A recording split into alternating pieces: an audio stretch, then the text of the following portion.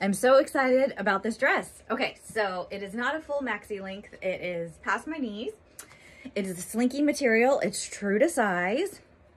Okay, so you have this collar like this, and then it comes down into a V. This, these straps are kind of wide enough to hide your regular bra.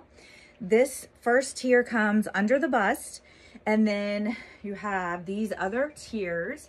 It is nice and flowy here, so it is camouflaging of the tummy, and it feels amazing because it is the slinky fabric.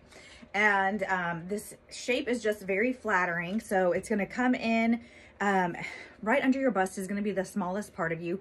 So it's going to come in there and then it's going to flare out and be nice and flowy. So the shape of it is very flattering. The length is fantastic, not too short, not too long. And of course the print is just bright and fun. So it's not too dark, it's not too light. It's kind of a mix of light and dark, which is great you know, spring, summer, going into fall. You can pair it with some booties, or you could put a denim jacket with it um, going into fall. So Really, really cute print. Grab this in your true size. It's got fantastic stretch to it. Um, I think everybody's gonna do great in their true size.